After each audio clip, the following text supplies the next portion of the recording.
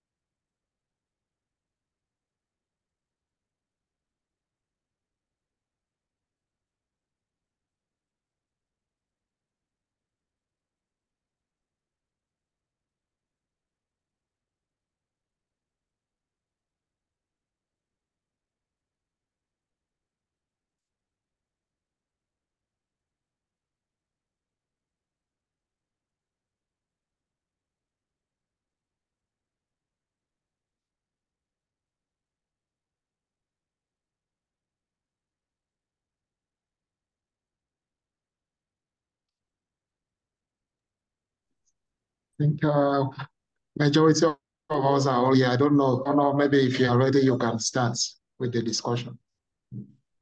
Okay. Um, let me pull my slides up, make sure that the screen is sharing appropriately.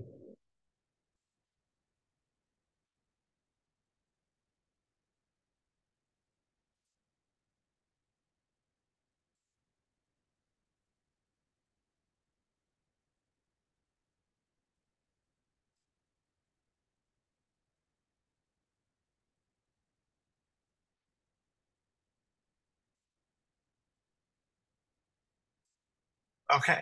Can everyone see the text? Look good?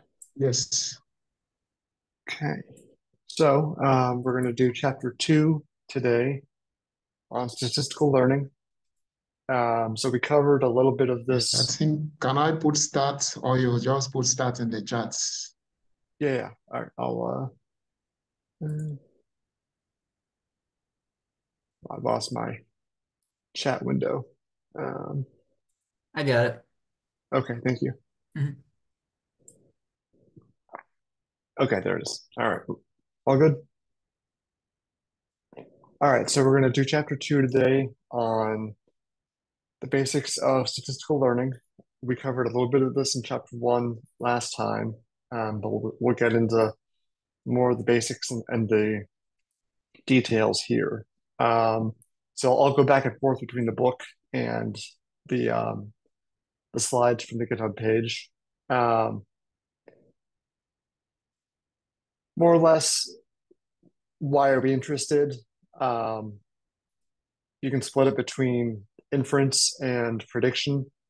Um, either you're trying to figure out why something is happening or how much of something will happen, or in a classification setting, what type of something. Um, so we have our input variables and output variables. Um, inputs are could be predictors, independent variables, features. There's a bunch of different names for them. Um, it all means the same thing basically. And then the output variable is the variable of interest. There's a response or dependent variable because it depends on the input variables. Um, so the, that response variable is typically y, and the output or the, the input variables are typically x. Um, so this is an example from advertising data.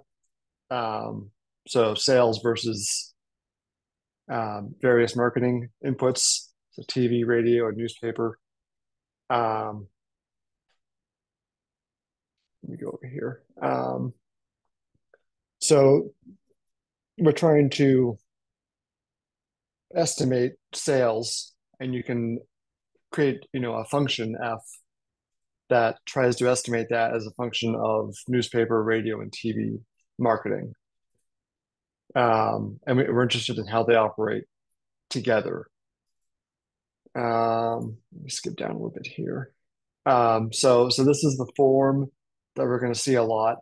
Um, so we have our dependent variable, we have our function that we're going to estimate, we have our input variables, then we have some error term. Um, so the point is to make new predictions of the dependent variable based on the input variables. Um, let's scroll down little more. Um, so this is a looks like a little S curve to me um, of some some data points sampled from a function. Um, so the the red points here are the independent observ or the individual observations, and the blue line is the shape of the function curve. Um, and the black line shows how far the points are away from that curve. Um, that's sort of like the residual, which we'll get to, I guess, later on. Um, so why are we going to estimate the function f? Um, as I said earlier, we can either do, either do it for prediction or inference. Um, and that's sort of the, also the breakdown between the classical statistics and then machine learning. Um, if you're interested in prediction, you're interested in, in accuracy of the estimate for the dependent variable. Um, so in prediction, the function is, is sometimes treated as a black box. Um, we're not so much interested in the inner workings of the function. Um, we're just interested in, in the accurate outputs, accurate predictions. Um, so we have y hat, I've heard it called, which is the, the prediction that the function makes. Um, so there's two types of error, um, reducible error and, and irreducible error. Um, reducible error can be, that can be reduced by, you know, improving the, the modeling method. Um, irreducible error is more of the, the inherent error in the data set. Um, so that's like your, I, I think about that as like the floor or it, it puts a ceiling on your accuracy. Um, the other side of the coin is inference, where we're interested in, in the inner workings of the function. So we're interested in how the various input variables affect the response variables, how the x's affect y. Um, here we're not exactly interested in in the the we're not only interested in, in the accuracy of the prediction for y. Um, but actually there uh, I, I did the tidy modeling book last year and Max Kuhn had a good point in that book where um, he sort of challenges the idea that you can do good inference with a model that doesn't have good predictions.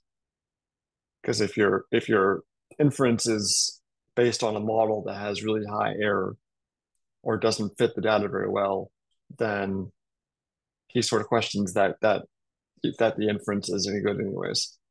Um, but that's probably something for later on down the road.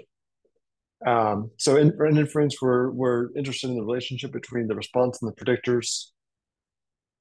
Um, and here is where you the the form of the function becomes more important. Um, if it's a linear model, then inference is a lot easier.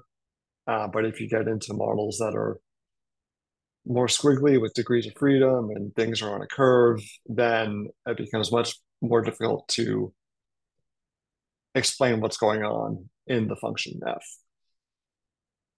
Um, so in the case of advertising, um, inference would be interested in which media type is more associated with with an increase or decrease in sales. Um, and then you can get into various like subsets of that question. Whereas in prediction, we just care about the accurate prediction of sales. Um, so how do we estimate F? Um, so there's parametric and non-parametric approaches. Parametric makes a upfront assumption about the form of F. And then once you assume that form, then you fit the model and, and make the predictions. Um, but if if the form that you ch choose for F does not fit the the underlying pattern of the data very well, then you're going to have some challenges. So if, if you're if the actual data is nonlinear, like there's some curves or things like that, and you're trying to fit a linear model, um, you're going to see a lot higher error. But you can explain it better. Um, so this is sort of getting into the into the discussion on trade-offs, uh, but overfitting is where the model is is trained to reduce error in the training set, right? this training and test sets, and most models, the algorithm is designed to reduce the error on the training set. Um, but there's definitely trade-offs there, and you can overfit the model so it learns, it, it mistakes noise for signal, and then tries to extrapolate that that false signal onto the test set, um, and that can cause real issues. Um, so non-parametric methods um, where you don't make explicit assumptions about the, the function of the function f. Um, so, so, so that, you know, instead of linear model, you could fit a curve to it and you can make it as quickly as you want. Um, and that can fit more complex response variables. Um, but um, you need more data and they're harder to interpret and the risk of overfitting is a lot higher. Let me go back to the book and see if I missed anything that I wanted to cover. Um, this was a fun plot, I thought. It shows like the surface area of the of the of the function um, of of the one data set. Um, it's not something I see a lot in practice, but it's a cool cool visual. Um,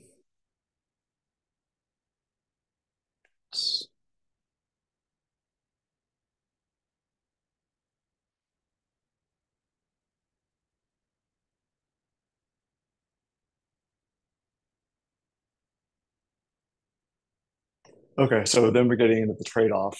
Um, so accuracy versus interpretability. Um, I sort of think of the you know the basic model of like a basic linear regression is highly interpretable, and XGBoost is very much not interpretable. Um, those are like the two ends of the of the continuum that I see. I guess deep learning maybe as well. Um, so you can see that um, there's definitely a, a trade-off between some of the the more restrained basic models that don't um, that are not very flexible. Um, you can interpret those, but then the the accuracy is is not going to be as high if the data is you know has any complex patterns. Um, whereas something like deep learning or XGBoost or, or something like that will have it'll be able to fit very interesting patterns in the data that you know a line wouldn't be able to fit. Um, but it'd be very difficult to to interpret it.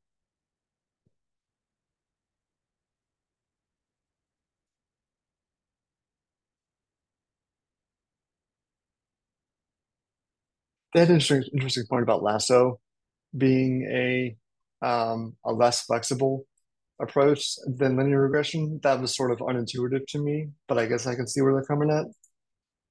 Because lasso, I guess it, will it'll restrain the coefficients on the on the input variables and and force some of them down to zero, right? Whereas a straight linear regression will not do that. So I guess their argument is that is that if you if the lasso forces some coefficients down to zero, you're basically removing variables from the model, which makes it more interpretable. Um, I sort of, I mean, that's probably true, but but there's probably also other cases where the the penalizer adjusts the coefficients, but doesn't force the, them all the way down to zero.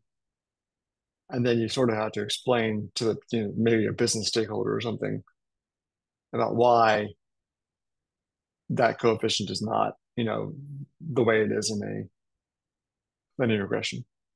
Um, but you know, that's probably getting into the weeds. Um, okay, so the next uh, split we have here is uh, supervised versus unsupervised. Um, so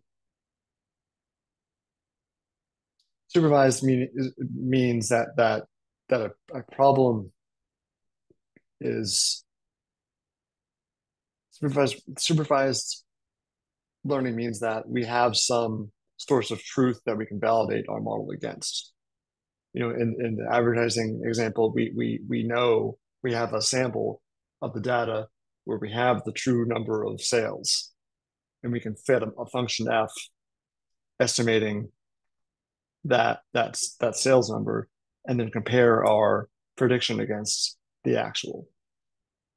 Um, whereas in unsupervised problems there's there there is no source of truth. There is no um, there's no actual right? You only have the input variables. There's no y um, so in that case you're not you're not going to use the same methods as you would in supervised learning um, and it's a much more um, I don't know if analytical is the right word, but but it's a lot more. You have to really get a feel for the data um, because you're basically finding communities of interest or clusters or patterns without anything to validate against. Um, so I find that, that that takes just a lot more time to think through the problem. Um, anything in there? Yeah, so here we have, you know, clusters based on a couple input variables with no with no um, labeled data, with no label to, to validate the, the cluster against. There's no categorical variable that is serving as the response variable here. It's just um, looking at the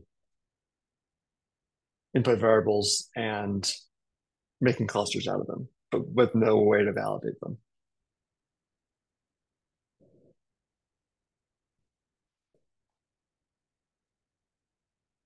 Um, they had a section on semi-supervised learning where where there's some of the data has labels and some doesn't. Um, to me, that sounded more like a missing data problem like it's still supervised learning with missing data. I'm not sure what semi-supervised means there. Like to me, that's a problem of um, imputation, um, as opposed to a whole different, you know, paradigm. But um, maybe I'm wrong there. Um, so regression versus classification. Um, to me, this boils down to the type of data in the response variable in the y. Um, generally speaking, if the response variable is quantitative, then you're going to use regression. And if the response variable is qualitative, categorical, then it's going to be classification. Um, there's some overlap in, in the specific methods because some functions can do both, um, like tree models, things like that. Um, but you're in that case, you, know, you can use random forest to do regression or classification. Um, but it, you're still choosing one. And that's driven by the response variable.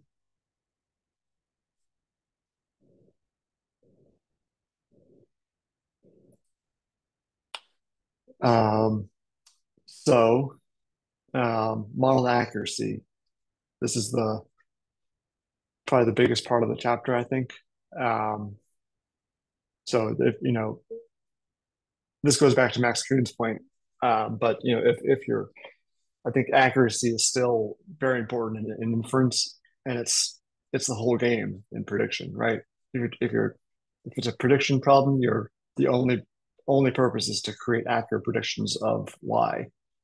Um, and if you're doing inference, then you need a model that that explains a good portion of the variation in the data and has low error to have you know to, to have a reasonable chance at, at inference i think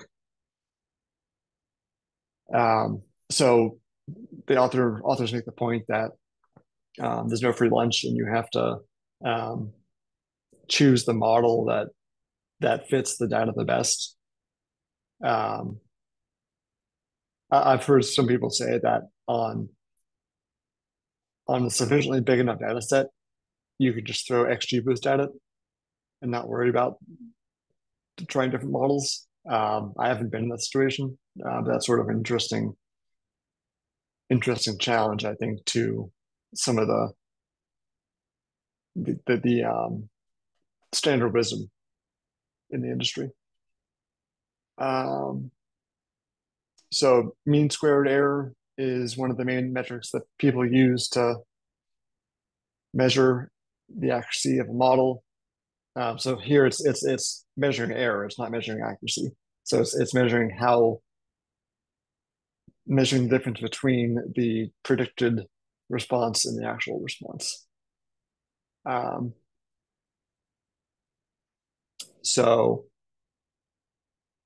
this is where we get really into overfitting. Um, so we use training data to fit the model, but we don't care about the accuracy on the training set. The, the accuracy or the, the error on the test set is what matters. Um, so, and again, I don't think I said this earlier, but but the, the model is trained on is trained on the training set, and then evaluated on the test set, right? So the model has not seen the test data before. Um,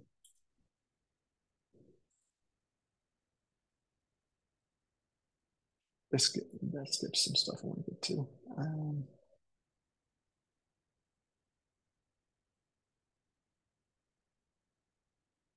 yeah, and mean squared errors is a is a I think overall in general you want to use some error term if you're evaluating a model um, as opposed to something like r squared, um, which isn't actually a measure of error. Um, I've found some cases where if you try and optimize a model on r squared, um, things get squirrely in a bad way.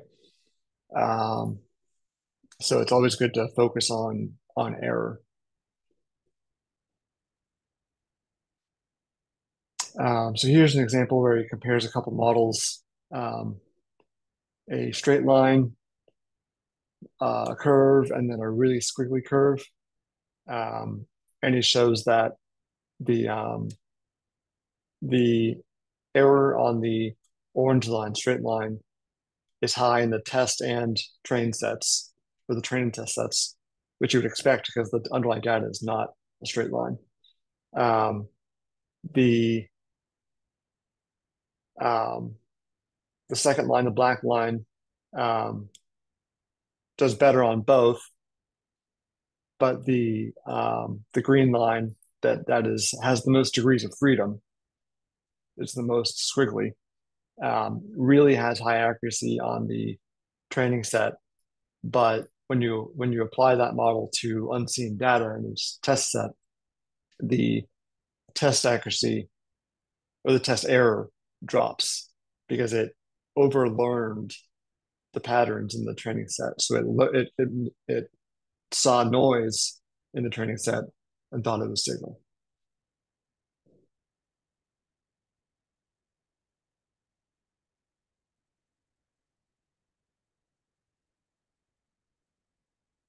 This is sort of the opposite example where the where the data is more or less linear.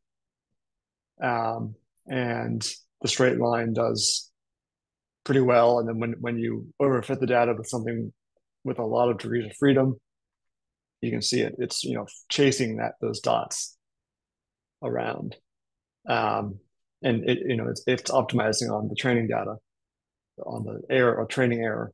Um, but then when when you apply it to the test set here, the test error increases.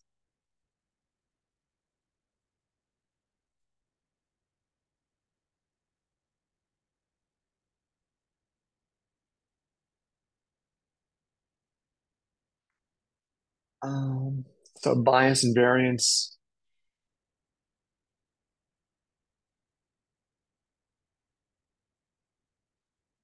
So you can um, sort of describe models in terms of bias and variance. Um, parametric models will have higher bias because they make an assumption about the underlying shape of the data. Um, so something like linear model is high bias um, because it, it draws a line of best fit through all the all the data. It doesn't try and chase individual observations. Whereas something like deep learning or XGBoost um, is higher variance and low bias. Um, and so well, it could be it could be low in both, but you know, something like like XGBoost will deal with interesting patterns in the data that are nonlinear better. Um, so the challenge lies in finding a model where both the variance and the bias are low.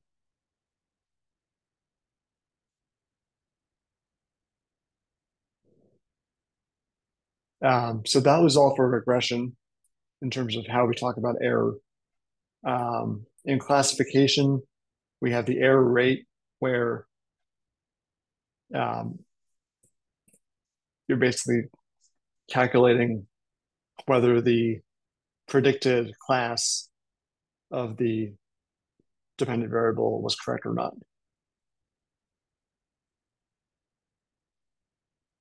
So again, it's divided into training error test error. Um, so the Bayes classifier is, is sort of an interesting idea. It's the hypothetical gold standard. Um, and I, it basically takes the majority class and then assumes that that everything else will be that majority class. Um, so this is a classification problem with two classes, and the purple dotted line here is the Bayes decision boundary. You can see that it does a pretty good job. There's some misses here and here, um, but it describes the the pattern pretty well.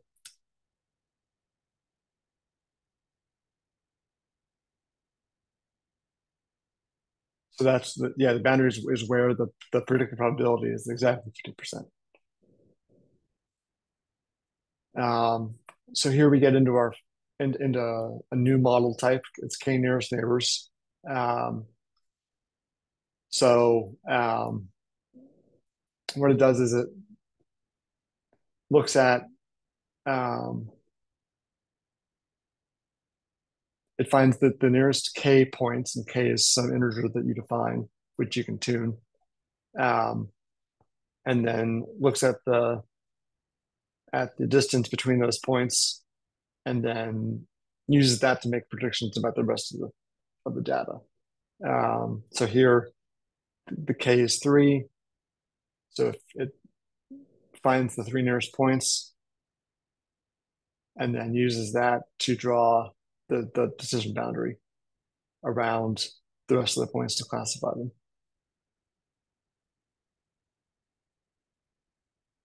Um, and again, we get into the into the problem of degrees of freedom and um, overfitting.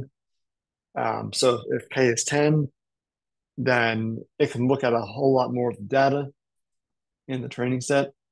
Uh, but you can see that it, it takes some funny turns here and there um, and is mistaking noise for signal. So, so when that's applied to the test set, um, it's going to make some mistakes.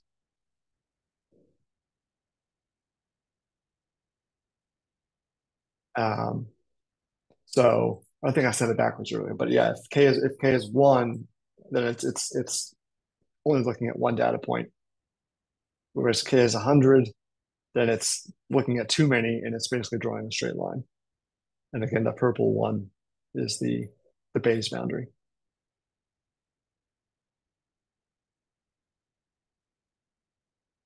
And again, we see that U shape in the test error. So as you increase K, um, you're going to drive down the training data, and the training data will, will always decrease as you increase de uh, degrees of freedom, basically. Um, but then you'll see that U shape in the test error. So as the model becomes more flexible, more complicated, um, it starts mistaking noise for signal.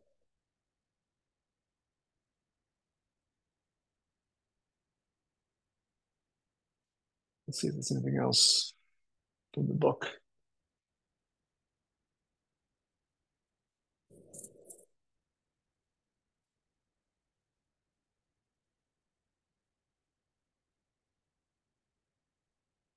Yeah. All right. So that, that's the that's the